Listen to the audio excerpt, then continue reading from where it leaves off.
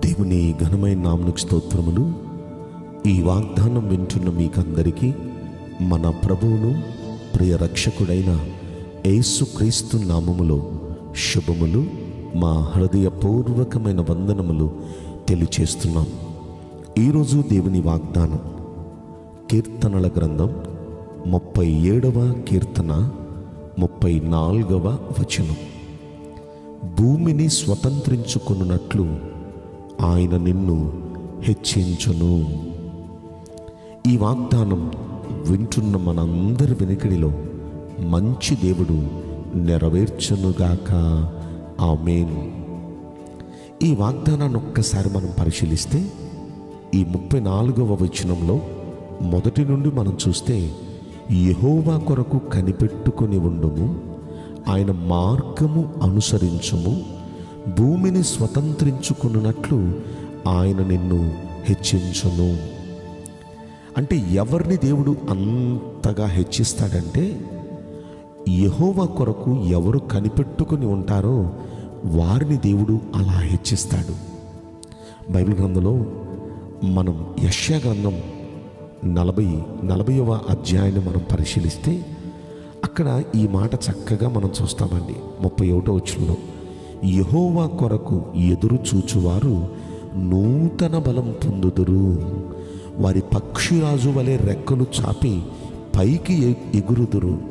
అలయక పరిగెత్తుదురు సొమ్మసిల్లక నడిచిపోదురు అనే మాట మనం చూస్తాం. అంటే ఎవరైతే దేవుని కొరకు కనిపెట్టుకుంటారో దేవుని కొరకు ఎదురు చూస్తూ ఉంటారో వారికి నూతన బలం దేవుడిస్తాడంట. ఎలాంటి నూతన బలం? పక్షిరాజు ఆ రెక్కలు చాపి పైకి ఎలా ఎగిరిపోతుందో అలాంటి నూతన బలం పక్షిరాజుతో ఎందుకు ఇక్కడ పోల్చాడో చెప్పనా?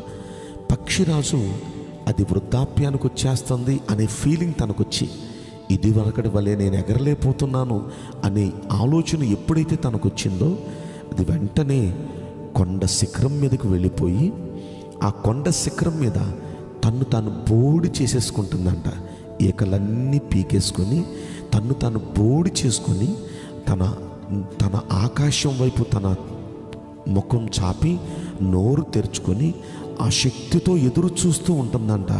మంచుకు తడుస్తూ ఎండకు ఎండిపోతూ అలా ఆశతో దేవుని కోసం ఆకాశం వైపు ఎదురు చూస్తూ ఆయన కోసం కనిపెట్టుకుంటూ ఉంటే కొద్ది రోజులకి మళ్ళీ కొత్తగా తనకి ఈకలు వస్తాయి కొత్తగా తనకు అవి తనకు ఆ బుచ్చంతా వస్తుంది. ఆ తర్వాత అప్పుడు మళ్ళీ నూతన యవ్వనం కొద్ది రోజుల్లో నూతన యవ్వనం తనకు వచ్చేస్తుంది ఆ నూతన యవ్వనంతో ఆ నూతన బలంతో రివ్వమని పైకి ఎగిరిపోతూ మళ్ళీ వచ్చేస్తుంది. మరలా ఆ రోజు నుండి మళ్ళీ కొన్ని సంవత్సరాలు అది మళ్ళీ కొత్త యవ్వనంతో వస్తుంది.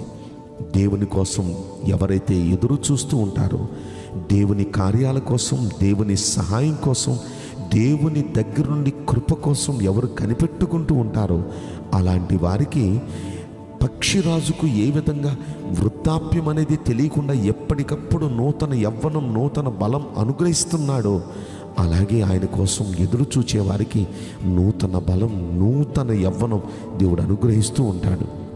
ఇక వారు అలయక సొమ్మసిల్లక నడిచిపోతారు. అలయక సొమ్మసిల్లక చక్కగా ఇక అలసిపోయామండి.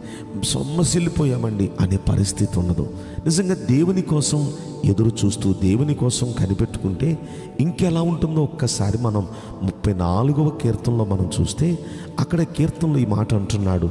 ఐదవ వచనంలో వారు ఆయన తట్టు చూడగా వారికి వెలుగు కలిగెను. వారి ముఖములు ఎన్నడను లజ్జింపకపోవును అంటాడు అంటే వారు అంటే ఎవరు? ఇజ్రాయేలీలు. వారికి వచ్చిన ప్రతి అవసరంలో వారు దేవుని తట్టు చూచారండి. వారు దేవుని తట్టు చూడగా వారికి దేవుడు వెలుగు కలిగించాడు. వారి ముఖాలు ఎన్నడూ సిగ్గుపడనివ్వలేదు వారిని దేవుడు. శత్రువుల ముందు పరిస్థితుల ముందు ఎన్నడూ వారిని దేవుడు సిగ్గుపడనివ్వలేదు. వారికి దేవుడు వెలుగును అనుగ్రహించాడు. వారు ఆహారం లేదు అన్నప్పుడల్లా వారు అలా ఆకాశం వైపు దేవుని కొరకు ఎదురు చూస్తూ కనిపెట్టుకునేవారు. ఆకాశం నుండి వారి కోసం దేవుడు మన్నాను కురిపించాడు. వారికి నీళ్ళు లేదు అని ఎదురు చూసినప్పుడు పానీయాన్ని ఇచ్చాడు. అసలు వారు నలభై సంవత్సరాలు లోటు అనేది రాకుండా భయం అనేది లేకుండా ఎప్పటికప్పుడు వారికి వచ్చిన ప్రతి అక్కరలో ప్రతి సమస్యలో దేవుని కోసం వారు ఎదురు చూచారు. దేవుని కోసం కనిపెట్టుకున్నారు. దేవుడు వారికి వెలుగును అనుగ్రహించాడు. దేవుడు వారిని ఎన్నడూ సిగ్గుపడనివ్వలేదు. ప్రియ దైవ జనాంగమా దేవుని కోసం కనిపెట్టుకునే వారిని సిగ్గుపడనివ్వడు. దేవుని కోసం మనం కనిపెట్టుకుంటే ఆయన ఈరోజు మనకిచ్చిన వాగ్దానం భూమిని స్వతంత్రించుకున్నట్లుగా ఆయన మనల్ని హెచ్చిస్తాడు. అంటే దాని అర్థం మనల్ని అంతగా దేవుడు హెచ్చిస్తాడు. అంతగా దేవుడు హెచ్చిస్తాడు. ప్రియ దైవ జనాంగమ ఈ వాగ్దానం వింటున్న మనందరినీ దేవుడు అలా హెచ్చించునుగాక ఇది మొదటి మాట. అందులోనే రెండవ మాట అంటున్నాడు ఆయన మార్గములను అనుసరించుము. ఒకటి ఆయన కోసం కనిపెట్టుకుంటే దేవుడు ఎంత హెచ్చిస్తాడు. రెండవది ఆయన మార్గములను అనుసరించాలి. దేవుని మార్గములు అంటే దేవుని వాక్యం. ఈరోజు వాక్యం వింటున్నాం మనం వాక్యం చదువుతున్నాం మనం. కానీ వాక్యాన్ని అనుసరిస్తేనే మనల్ని అంత హెచ్చిస్తాడు.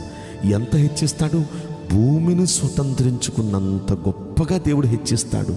ఆయన మార్గాలను వాక్యాలను మనం అనుసరించాలి. ప్రకటన గ్రంథం మొదటి అధ్యాయంలో మూడో వచనం అంటాడు సమయము సమీపించినది కనుక ఈ ప్రవచన వాక్యములు చదువువాడును వాటిని విని ఇందులో రాయబడిన సంగతులు గైకును వాడును ధన్యుడు అనే మాట మనం చదువుతాం. అంటే ఈ వాక్యాలు చదివేవారు వాక్యాలు వినేవారు మాత్రమే కాక వాటిని అనుసరించి నడుచుకునే వారిని ధన్యులుగా చేస్తాడండి దేవుడు. అంటే ఇంతగా హెచ్చిస్తాడు. బైబిల్ గ్రంథంలో ఉన్న వాగ్దానాలు ఆశీర్వాదాలన్నీ ఎవరికో చెప్పన?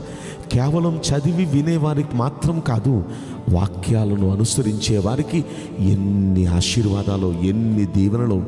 కనుక దేవుడు ఈ వాగ్దానం వింటున్న మనలో ప్రతి వ్యక్తిని గొప్పగా దేవుడు హెచ్చించబోతున్నాడు. అలా హెచ్చించాలంటే రెండు పనులు మనం చేయాలి. ఒకటి ప్రతి విషయంలో ఆయన కోసం మనం కనిపెట్టుకుందాం. రెండు ఆయన మార్గాలను ఆయన వాక్యాన్ని అనుసరించి నడుద్దాం. దేవుడు గొప్పగా మనలో ప్రతి వ్యక్తిని హెచ్చించునుగాక. ఆమె నేను మీకోసం ప్రార్థన చేయబోతున్నాను. పరిశుద్ధుడా ప్రేమగల యేసురాజా మీ పరిశుద్ధ బంగారు పవిత్రమైన నామునకు నిండు మనసుతో కోట్ల కొలదిగా స్థుతులు స్తోత్రములు వందనాలు చెల్లిస్తున్నాం.